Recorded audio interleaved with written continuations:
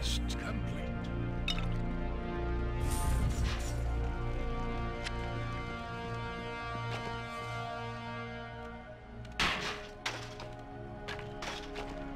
Your pet can't carry anymore.